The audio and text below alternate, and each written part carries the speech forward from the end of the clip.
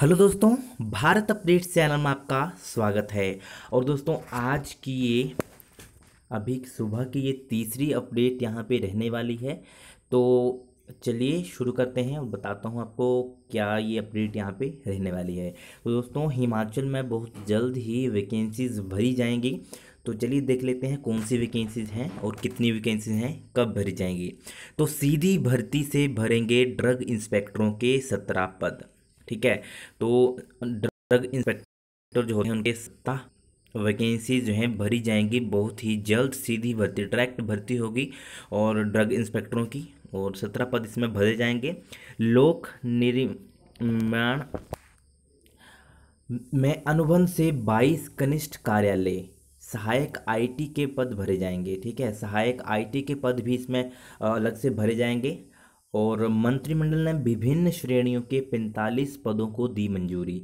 तो drug drug इंस्पेक्टरों के 17 पद हैं आईटी के कनिष्ठ कार्यालय सहायक आईटी के 22 पद हैं और टोटल यहाँ पे इन्होंने बोला है कि पैंतालीस पदों पद जो हैं भरे जाएँगे, ठीक है? पैंतालीस, forty five vacancy, total number of vacancy यहाँ पे भरी जाएँगी।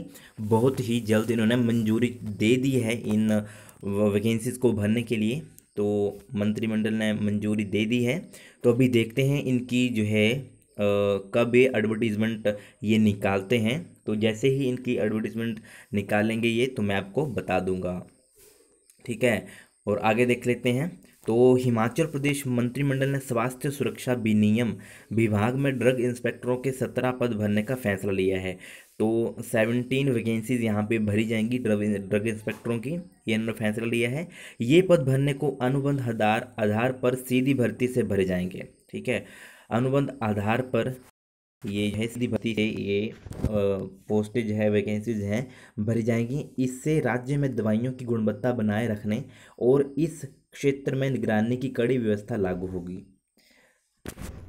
और कैबिनेट ने हिमाचल प्रदेश लोक निर्माण विभाग में अनुबंध आधार पर सीधी भर्ती से 22 कनिष्ठ कार्यालय सहायक आईटी के पदों को भरने की स्वीकृति भी प्रदान की है। तो 22 यहाँ पे कनिष्ठ कार्यालय सहायक आईटी के पद भरे जाएँगे 22 ठीक है? कैबिनेट ने वन विभाग में सीधी भर्ती के माध्यम से हिमाचल प्रदेश वन सेवाओं के सात पदों को भरने का भी निर्णय लिया है। तो यहाँ पे जो है, वन विभाग में भी कैबिनेट ने सात पदों को भरने का निर्णय यहाँ पे लिया है। तो यहाँ पे बहुत अच्छी ये इन्होंने जानकारी दी है, अपडेट दी है। मंत्रिमंडल में ये फैसले जो है लिए गए हैं। तो अभी आप फ़िलहाल वेट कीजिए कि कब तक ये एडवर्टीज़मेंट आती है। और जैसे ही एडवर्टीज़मेंट आएगी तो मैं आपको बता दूँगा। ठीक है? और यहाँ पे बाकी और ज़्यादा ज़रूरी कुछ नहीं, बस एक है कि धारा 118 से नहीं होगी कोई भी छेड़छाड़। तो मंत्रिमंडल की बैठक में धारा 118 को लेकर प्रस्तुति भी दी गई। स्वास्थ्य मंत्री विपिन सिंह परमार ने बताया कि इन्वेस्टर मीट में अगर अधिक निवेश आएँगे तो धारा 118 से कोई भी छेड़खानी नहीं होगी। उन्होंने कहा कि सरलीकरण की दिशा में आगे बढ़ा जा रहा है, उसी दिशा में दिशा में आगे बढ़ा जाएगा। तो मेन बात तो यहाँ पे यहाँ पे वैकेंसीज की थी कि यहाँ पे पैंतालीस वैकेंसीज हैं, भरी जाएँगी। बहुत ही जल्द मंत्रिमंडल की तरफ़ से ये निर्णय लिया गया है।